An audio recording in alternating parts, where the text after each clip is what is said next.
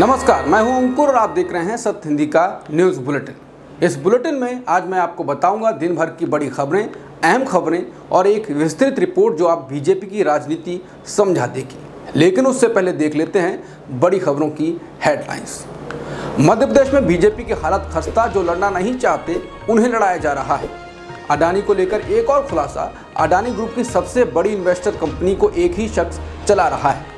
अडानी मामले पर कांग्रेस बोली, अडानी मामले में अनिच्छा से जाँच कर रही है सेबी।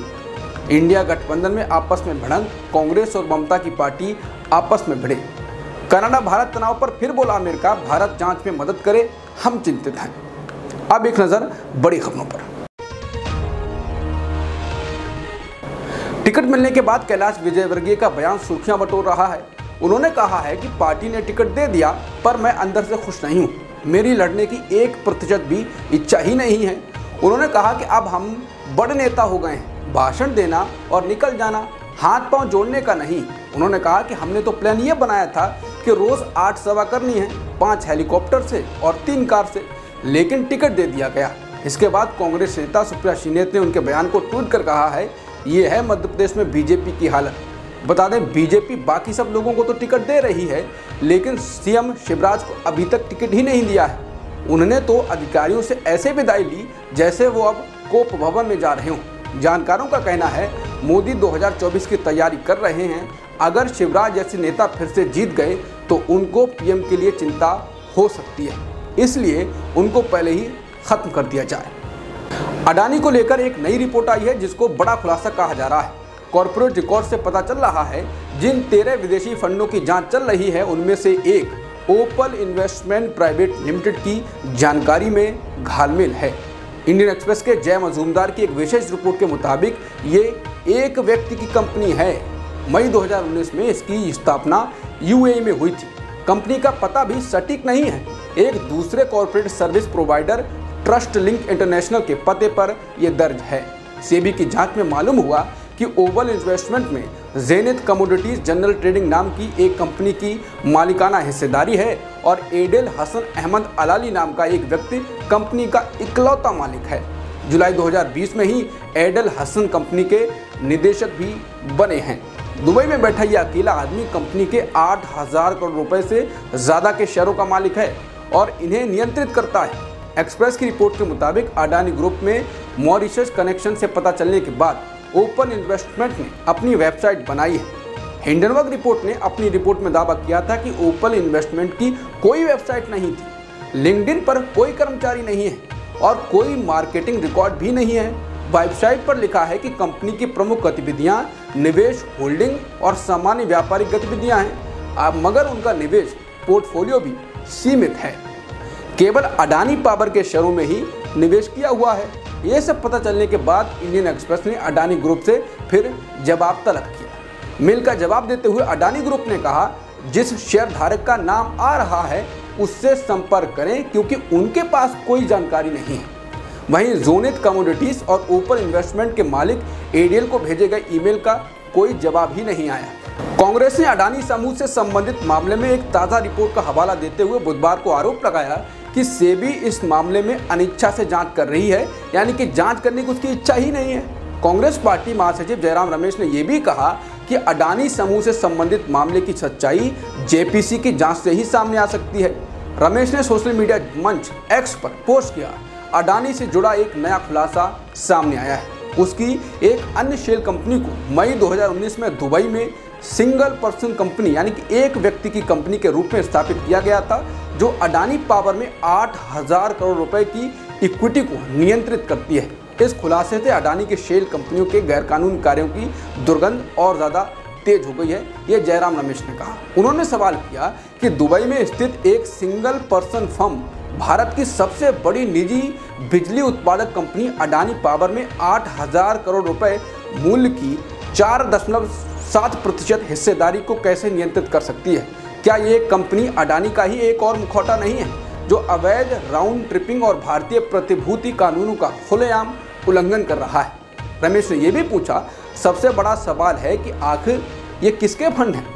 उन्होंने आरोप लगाया कि सेबी द्वारा बिना किसी उत्साह के और अनिच्छा से की जा रही जाँच से कोई जवाब मिलता नहीं दिख रहा है। कांग्रेस महासचिव ने आगे कहा कि आगे का एकमात्र रास्ता जेपीसी है, जो अडानी महाघोटाले के पीछे की पूरी कहानी की जाँच करने में सक्षम होगी।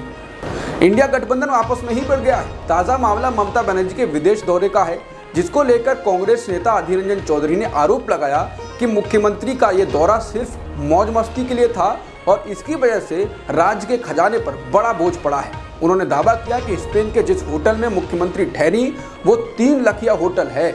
मुख्यमंत्री के लिए कोई कमी ना हो, इसके लिए वहाँ सारे इंतज़ाम किए गए हैं। वहीं अधीर के इन आरोपों पर ममता बनर्जी सरकार में मंत्री और टीएमसी नेता डॉक्टर शशि पांजा ने सवाल किया है कि क्या कांग्रेस नेतृत्व उनके बयान का समर्थन करता है? डॉक्टर शशि पांजा ने कहा कि उनका बयान विपक्षी दलों के गठबंधन इंडिया को नुकसान पहुँचा सकता है। उन्होंने कहा, वो ममता बनर्जी और टीएमसी के बारे में जो बयान दे रहे हैं, मुझे नहीं पता कि क्या वो गठबंधन इंडिया को निशाना बनाना चाहते हैं। अमेरिका के विदेश मंत्रालय के प्रवक्ता मैथ्यू मिलर ने कहा है कि कनाडा में स्थिति को लेकर हम चिंतित हैं। हमने कनाडा से पूरा सहयोग किया है। हमने भारत से भी अपील किया है कि वो जाँच में मदद करें और ये अपील हम करते रहेंगे। इसके साथ ही उन्होंने कहा कि भारत अमेरिका का अहम साझेदार है और हम भारत के साथ बहुत सारे मुद्दे पर काम करते हैं, लेकिन इस मुद्दे पर हम उनसे अपील करते हैं कि वो कनाडा की जाँच में सहयोग करें। मैथ्यू मिलर से समाचार एजेंसी पीटीआई के पत्रकार ने जब सवाल पूछा कि कनाडा के पीएम जस्टिन ट्रूडो के भारत पर लगाए गए आरोपों का भारत और अमेरिका के रिश्ते पर क्या असर पड़ेगा? इस सवाल पर मिलर ने कहा, मैं फिर से दोहराना चाहता हूँ कि हम कनाडा के आरोपों से काफ़ी चिंतित हैं। कनाडा का हम सहयोग कर रहे हैं और आगे भी करते रहेंगे। भारत से अपील करते हैं कि वो भी जाँच में कनाडा का सहयोग करे। भारत अमेरिका का सहयोगी देश है और हम आपसी साझेदारी जारी रखेंगे। लेकिन भारत को कनाडा की जाँच में सहयोग देना चाहिए। अब अहम खबरें। 2024 के जंग, गाँव के वोटरों पर बीजेपी की नज़र, उपलब्धियों को गाँव गाँव पहुंचाएगी सरकार। 1500 रथ दौड़ने को तैयार। मध्य प्रदेश के बाद राजस्थान में भी उतारे जाएँगे बड़े बड़े सेनापति। केंद्रीय मंत्री गजेंद्र शेखावत, अर्जुन राम मेघवाल के साथ साथ राज्यवर्धन राठौड़ और दिया कुमारी जैसे लोकसभा सांसद भी चुनाव में उतारे जाएँगे। आंध्र प्रदेश के पूर्व सीएम चंद्रबाबू नायडू की एफआईआर को रद्द करने की याचिका पर 3 अक्टूबर को होगी सुनवाई। 371 करोड़ के स्किल डेवलपमेंट घोटाले के सिलसिले में हुए हैं गिरफ़्तार। आज जस्टिस एसवीएन भट्टी ने सुनवाई से खुद को किया अलग। कॉलेजियम की 70 सिफारिशें। 10 महीनों से सरकार के पास अटकी। सुप्रीम कोर्ट बोला, सरकार के कारण जुडिशरी काबिल लोगों को खो रही है। ठाकुर ब्राह्मण विवाद में जेडीयू ने ली एंट्री। मनोज झा को दे दी चेतावनी। जेडीयू एमएलसी संजय सिंह ने कहा, ठाकुर आग है, उसको आग मत लगने दो। मैं चेतावनी देता हूँ मनोज झा को, हाथ में चूड़ी नहीं पहने हैं। मणिपुर में फिर बिगड़े हालात, पूरा राज्य अशांत क्षेत्र घोषित। कांग्रेस नेता जयराम रमेश बोले, पूरे मणिपुर राज्य को डिस्टर्ब घोषित कर दिया गया है। लेकिन प्रधानमंत्री को अनडिस्टर्ब रहने दें। कांग्रेस बोली, हम चाहते हैं कि पीएम मोदी सारी पार्टियों की बैठक बुलाएँ और हम सभी मिलकर मणिपुर की समस्या का कोई समाधान निकालें। अगर पत्रकार सच्चाई दिखाना चाहते हैं तो उन पर एफआईआर हो जाती है। इंटरनेट पर सच्चाई देखने लगी तो पाँच दिन के लिए इंटरनेट बंद कर दिया गया। ऐसा कब तक चलेगा? खड़गे बोले, मणिपुर युद्ध मैदान बना, नाकारा सीएम को बर्खास्त करें मोदी। ऑस्ट्रेलिया ने राजकोट वनडे में भारत को जीत के लिए तीन सौ तिरपन रन की चुनौती दी ऑस्ट्रेलिया ने 50 ओवर में सात विकेट पर तीन सौ बावन रन बनाए। ये इस मैदान पर सबसे बड़ा स्कोर है। एशियन गेम्स में स्कीट शूटिंग में अनंतजीत सिंह ने जीता सिल्वर। भारत के खाते में अब तक 22 मेडल आ चुके हैं, जिनमें से पाँच गोल्ड और सात सिल्वर मेडल शामिल हैं। भारत की तरफ़ से ऑस्कर में जा रही है Malayalam film. 2018 everyone is a hero. Gadar two और रॉकी रानी रेस से बाहर। टाइगर थ्री का टीजर हुआ रिलीज़। फैंस करने लगे रिएक्ट। दिवाली के वक्त रिलीज़ होगी फ़िल्म। गणपति दर्शन के लिए बीजेपी नेता आशीष शेलार के घर पहुँचे आमिर खान। अनंत अंबानी भी पहुँचे। शुरुआती गिरावट से उबरा बाज़ार। सेंसेक्स एक अंक चढ़कर छियासठ हज़ार के पार बंद। एक बार फिर बायजूस में लगी छटनी की तलवार। चार हज़ार लोगों की जा सकती है नौकरी। कंपनी के भारत के नए सीईओ अर्जुन मोहन ने बड़े पैमाने पर कंपनी में रीस्ट्रक्चरिंग की कवायद शुरू की। शिवराज सिंह चौहान ने हथियार डाले, अफसरों से कहा, अलविदा। मध्य प्रदेश के मुख्यमंत्री शिवराज सिंह चौहान ने मंगलवार 26 सितंबर को वल्लभ भवन के अफसरों को कथित तौर पर अलविदा आखिर क्यों कह दिया? ये बड़ा सवाल प्रदेश की राजनीतिक और प्रशासनिक विधिकाओं में चर्चा का विषय बना हुआ है। अभी चुनाव की तारीखों की घोषणा के पहले ही मुख्यमंत्री शिवराज सिंह द्वारा मंत्रालय के अफसरों के आभार जताने के तमाम निहितार्थ निकाले जा रहे हैं। मध्य प्रदेश विधानसभा चुनावों के लिए पार्टी ने सोमवार को उनतालीस उम्मीदवारों की दूसरी लिस्ट जारी की है।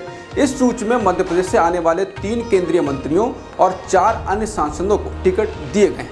मंगलवार को कैबिनेट की बैठक और उसके बाद मध्य प्रदेश के पूर्व मुख्यमंत्रियों की प्रतिमाओं को वल्लभ भवन में स्थापित करने संबंधी आयोजन में शिवराज का चेहरा बुझा बुझा नज़र आया। शिवराज सिंह ने चौथे मुख्यमंत्री काल में कंधे से कंधा मिलाकर सहयोग करने वाली ब्यूरोक्रेसी का कैबिनेट बैठक में और बाद में भी आभार जताया। पूरा आयोजन एक तरह से फेयरवेल भाव वाला रहा।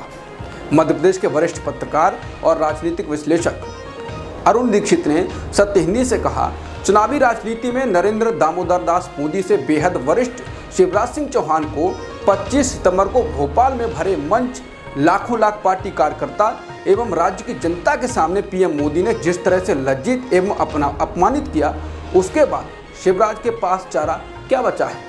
दीक्षित कहते हैं, ऐसे अपमान पर शिवराज को जलसा खत्म होते ही मुख्यमंत्री पद छोड़ने का ऐलान कर देना चाहिए था।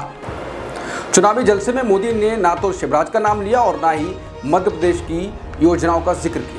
दीक्षित ने कहा कि और तो और उस लाडली बहना योजना का उल्लेख करना भी मोदी ने मुनासिब नहीं समझा, जिसे गेम चेंजर मानकर शिवराज मध्य प्रदेश नाप रहे हैं। कुल मिलाकर पीएम मोदी वरिष्ठ नेता को साइडलाइन कर रहे हैं। वजह क्या है, ये तो आप सोचें। मालूम हो कि गडकरी से मनभेद तो पहले से ही चल रहे हैं। वसुंधरा राजे सिंधिया भी उसी क्रम में हैं। कुल मिलाकर मध्य प्रदेश में बीजेपी के वरिष्ठ नेता साइडलाइन हो रहे हैं, राजस्थान में हो रहे हैं, बाकी जगह पर भी हो रहे हैं। वजह क्या है? इस पर विचार आप कर सकते हैं और बाकी खबरों के लिए बने रह सकते हैं सत्य हिंदी डॉट कॉम के साथ। तब तक के लिए नमस्कार।